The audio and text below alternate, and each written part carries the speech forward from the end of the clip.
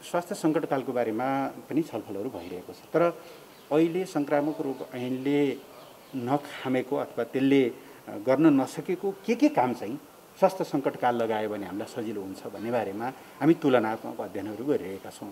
Result आउने हो भने घोषणा गर्नुको अर्थ हुन्छ। नभए सङ्कटकाल घोषणा गरेर मात्रै स्वास्थ्य सङ्कटकाल घोषणा गरेर मात्रै रिजल्ट आउने होइन।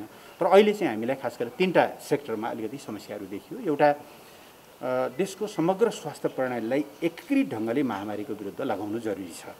यसका लागि अब अहिलेका हाम्रा व्यवस्थामा कस्तो छ भन्दाखेरि हामीसँग स्वास्थ्य मन्त्रालय र त्यस मातहतका अस्पतालहरू छन्। विभिन्न प्रतिष्ठानहरू छन्। ती झन्डै झन्डै स्वायत्त खालका छन् केही शिक्षा मन्त्रालयले सञ्चालन गर्छ। शिक्षा मन्त्रालय मातहतका छन् केही स्वास्थ्य मन्त्रालय मातहतका छन् प्रादेशिक अस्पतालहरू छन् र स्थानीय तहहरूले सञ्चालन गर्ने स्थानीय आधारभूत अस्पतालहरू छन्। ती सबैलाई युनिफाइड ढङ्गले सञ्चालन गर्न हामीलाई केही कानुनी प्रबन्धहरू चाहिएको छ एक।